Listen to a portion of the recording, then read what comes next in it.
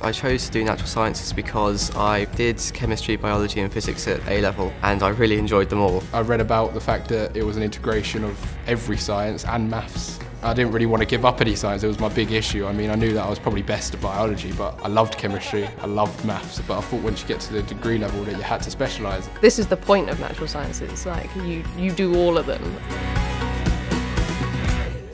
The teaching style is very much interactive. You've got expert sessions, which is the closest you're ever going to get to a lecture, where it's a one expert talking about their field just to your year group and class.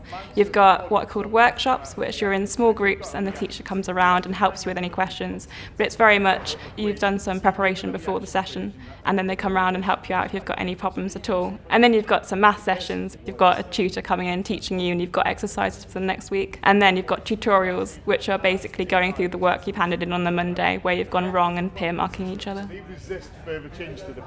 In terms of transferable skills, I reckon the deliverables offer a lot. At the end of each unit of study, we have a thing called a deliverable, which is essentially just showing what we've learned. So sometimes it could be an essay, it could be a podcast, it could be a courtroom. So you're really testing yourself in different ways and developing skills that I don't think a lot of other courses really allow you to do.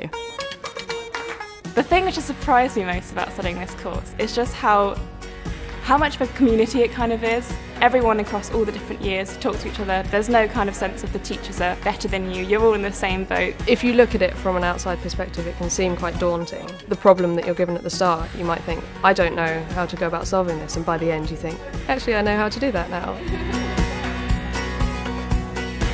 What surprised me as well is what you end up enjoying in the end because I enjoyed biology when I first came. I thought that's probably where I was going, and now I'm definitely erring more towards physics. I didn't know that I would be able to keep up, and actually, I've surprised myself in being able to keep up and actually do consistently well. Prospective students, I'd say um, really look at what you want because the course is quite intense and there is a lot of reading, but at the same time, it's very rewarding.